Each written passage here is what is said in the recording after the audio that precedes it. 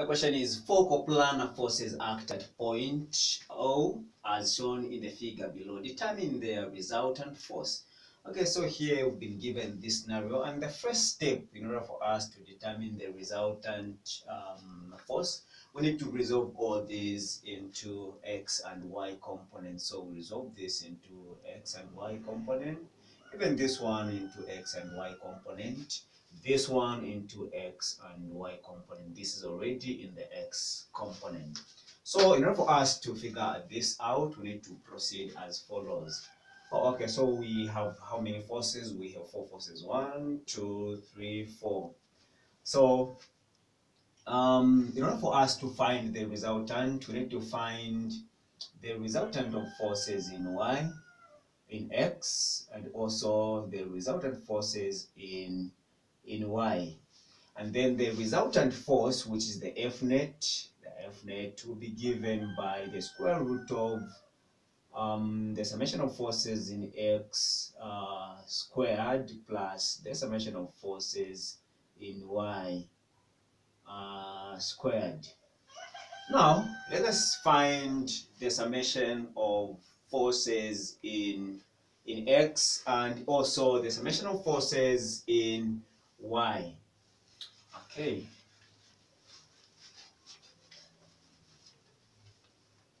So here we begin. Um, let us begin with the uh, 100.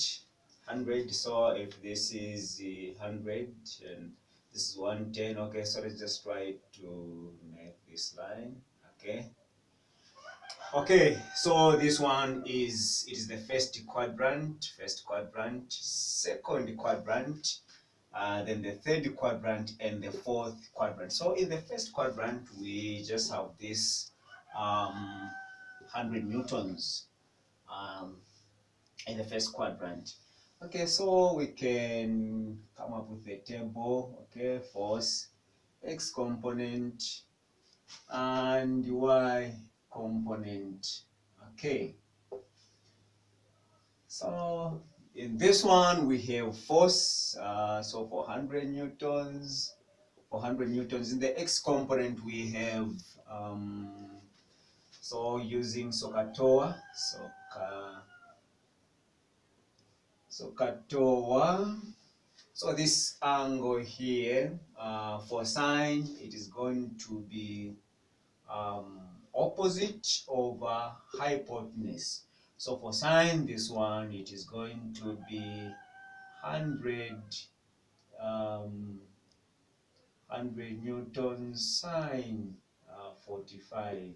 And this one will be 100 newtons cos um, 45. So in the x, we have 100, um, 100 cos 45 and in y we are going to have 100 sine 45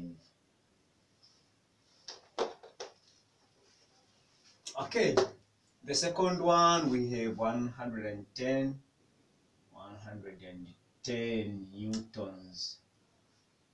110 newtons so here, this is the second quadrant. In the second quadrant, the x component must be negative. So we are going to have a negative 110 cos, um, cos 30. Yeah, this one. And in this one, it is positive. So we are going to have 110 sine 30 let's come to 160 160 newtons. So in the x component we are going to have 160 um, cos 20 and in this is the third quadrant. So in the third quadrant both the sine the, the, the cos and sine uh, are negatives okay? So here the 160 um, sine 20 okay so this one is also negative. And this one this one we have um, so this is the value for the component of this. Now in the x direction here for the force 180, 180 newtons we have in the x component, it is going this direction. So we're going to have 180, um, 180 newtons just what of in the y direction, in the y direction we just have zero. Okay, so now we can um, resolve this into the respective components.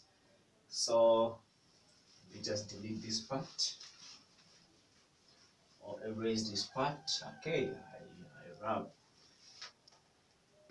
Okay, so uh, here the summation of forces, the summation of forces in x um, are so we have 100 cos 45 degrees minus 110 um, cos 30 minus 160 cos 20 plus 180 okay so in the x the x component the value we are getting is negative negative 94 um 94.9 newtons in the x in the x uh, direction. Then we also have the summation of forces in y which should give us uh, so 100 sine 45 plus 110 sine 30 minus 160 sine 20 plus 0 and what we're getting there is 70.9 newtons so 70.9 newtons so from there we proceed now to find the resultant force by saying F net is equal to the square root of F summation of forces in X squared plus summation of forces in Y squared. So what we're going to have here is um, the square root of negative 94.9 uh, squared plus 70.9 squared. So when we punch on a calculator, what we are going to have is 100, 118 newtons as a resultant, um, a resultant force. Now, if we want here, we can also find the direction, but that one will be done in the next video. Thank you so much for watching.